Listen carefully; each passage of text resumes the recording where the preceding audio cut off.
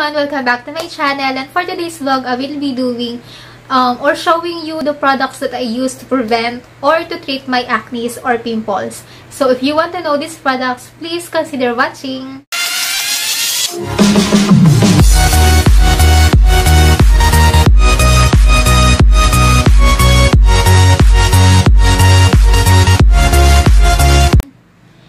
Products na to guys is tried and tested ko na halos kapag um, naka-pimples talaga ako, yun agad yung ginagamit ko um, kapag meron agad pasulpot na pimples. Most especially kasi, um, nagka-half pimples lang talaga ako kapag time of the month na. So, yun yung nagiging problema ko. So, lumalabas talaga yung mga pimples ko dito sa aking chin area, sa aking cheeks, at saka sa, um, dito, sa T-zone.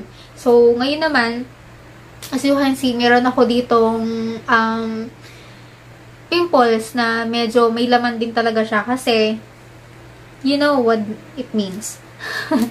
so, yun. Um, for me to treat this kind of pimples, so, hindi naman siya cystic or para mga mild to um, small pimples lang siya. Kaya, for me, guys, madali ko siyang matitreat. So, madali lang siyang mag-heal for myself. So, if you have a skin type like me, so I have a very oily and acne and sensitive skin, So, maybe these products will um, really help you also to treat this kind of pimples. So, if you have naman ng mga super cystic acne, ganyan, so, I don't think, or pwede rin naman, na matry nyo itong mga product na to. Pero I can guarantee guys na 100% mag-work siya sa inyo. Especially kasi kapag mga cystic acne na, um, kailangan na niyan is pumunta na kayo sa mga derma nyo or mga derma na ganyan para ma-treat talaga yung mga pimples nyo. Kasi kapag nag-over the counter lang kayo, mga nagta-try and error lang kayo, minsan um, sa halip na mas mapagaling yung pimples nyo,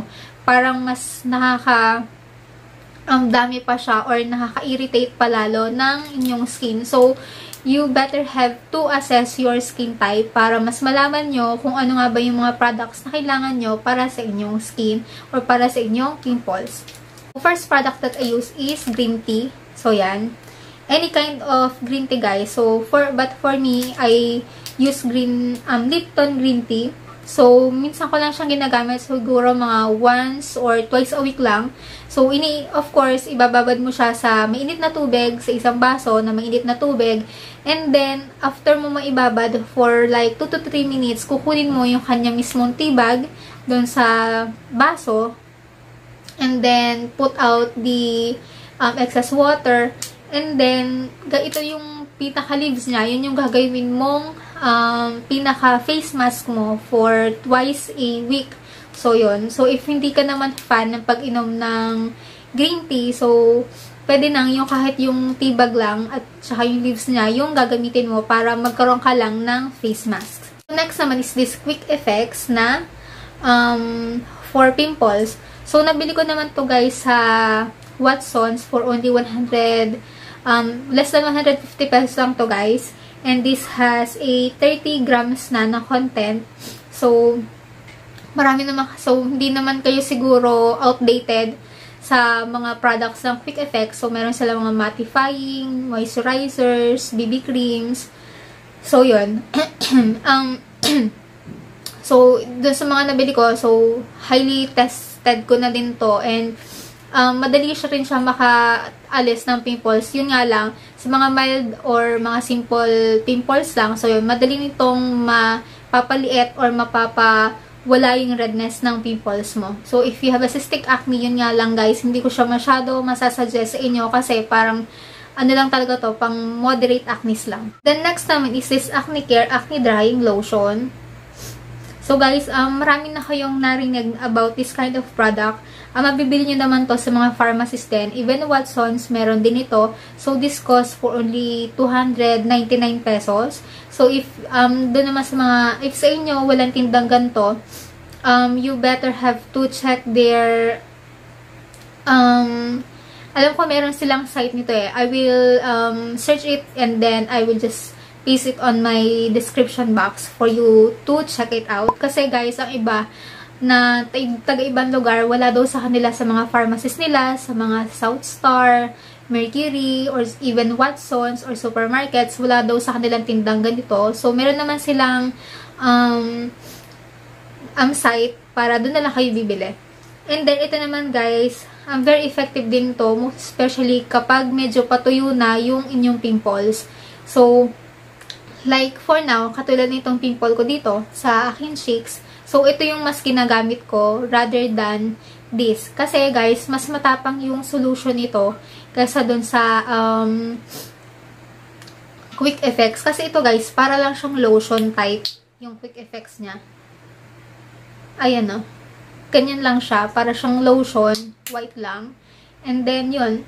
Um, i-gaganyan-ganyan mo lang siya sa spot treatment lang to. So, yun.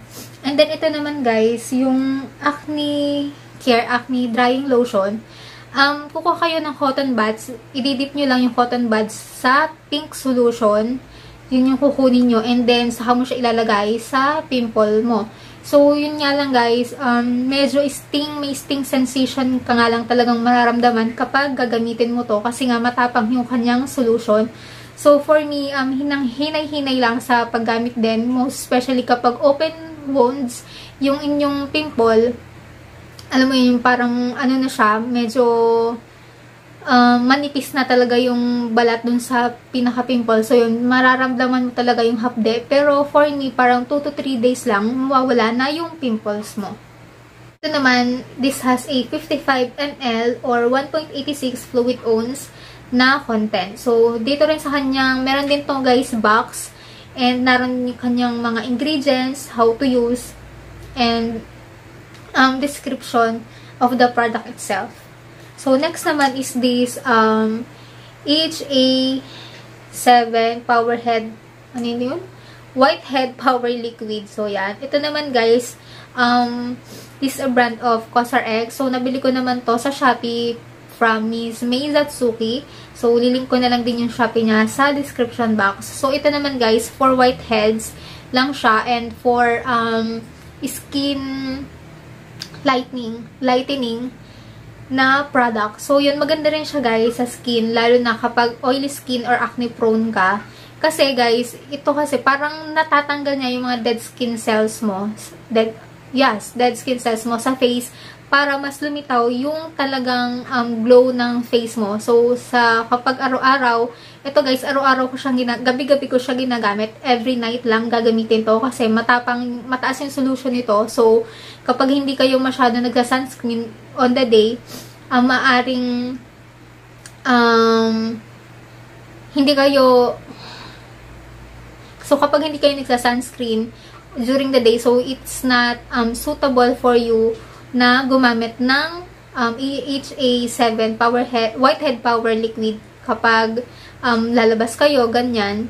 Kasi guys, nga, mataas yung solution niya and um, kapag wala kayong SPF na suot, so mas malaki ang chances na baka ma-irritate lang lalo yung skin niyo. So, ito guys, talagang nakakaano rin siya ng pimples ko. So, yun, ginagawa ko din siyang spot treatment. So, nilalagay ko to um, after to wash my face, ganyan, um, after cleaning, tapos magto-toner, and then, yun, ito na yung ilalagay ko. So, 30 minutes ko siya, guys, nilalagay sa face bago ako magpunta sa um, next step of my skincare. So, last naman, guys, kapag talagang kapag talagang um, super, ano na yung acne nyo, masakit, and gusto nyo talaga na mapabilis yung pag-heal niya, ito yung ginagamit ko. This is the Rhea Salicylic Acid. So, yan. so, this is 10% solution keratolytic antifungal. So, this is for external use only. So, nabili ko naman to guys sa mga pharmacies. Kahit siguro sa pharmacies, meron kayong makikitaan na gantong klase ng salicylic acid. So, hinay-hinay lang din, din guys sa paggamit ng gantong klase ng product. Kasi, um, mas ito talaga yung klase ng product na talagang makakasunog sa inyong face. So, ang paggamit naman nito is cotton buds lang ulit. Dip nyo lang sa um, solution na to and then i-spot treatment nyo lang yon Doon talaga sa area na may pimples lang. Huwag nyo siya guys ikakalat. Yun yung pinaka um, marireminder ko sa inyo. Kasi talagang nakakasunog siya guys ng face kapag sobra nyo siyang um, dami or sobra nyo siyang ikinalat doon sa area ng um, outside the area of your pimples So, mas lalong may irritate, lalong mamumula, And yung cause niya, parang mas lalong mapapatagal yung pag-heal ng pimples mo. So, you really have to make sure lang na um, dun lang talaga sa pinaka um, spot lang ng pimples nyo siya ilalagay. So, for me guys, ang talaga lang, pag ganito ginagamit ko, like mine, dito, hindi ko muna siya nilalagay kasi yung pimple ko talaga, parang ramdam ko na laman siya sa loob. So, hindi pa siya nagkakaroon ng pinaka-pus or sabihin natin yung pinaka-nana, yung nasa gitna. So, yun, hindi ko muna siya nilalagay dito kasi ang kapag ganyan sa balat pa lang, talagang makikita mo yung magre-red talaga siya. And then the next day, para siyang nasunog. So, yun for me, um, talagang hinahinay lang sa paggamit ito, most especially kapag very sensitive yung skin mo. So, that's it guys for today's vlog and I hope I help you a lot na dito sa aking mga products na ginagamit for me to treat my pimples. So, yun lang guys for today and I hope you consider to subscribe on my channel for you to get notified on my future videos and then don't forget to um, visit my Facebook, my Instagram, and my Twitter. So they are all linked on my description box. And then see you guys on my next video. Bye!